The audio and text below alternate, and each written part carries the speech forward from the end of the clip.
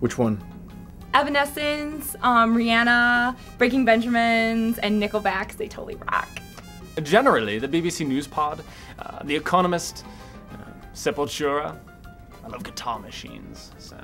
I, I've got uh, uh, the uh, the Shatner album uh, and Nimoy when he does Proud Mary. I got about 30 hours of white noise. Just helps me relax. What's an iPod? Dave Matthews is the only thing on my iPod.